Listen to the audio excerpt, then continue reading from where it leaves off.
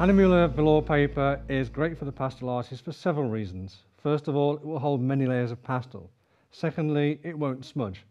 And thirdly, it never needs to be fixed. In addition to that, you can get very fine detail using hard pastels. Perfect for any pastel artist.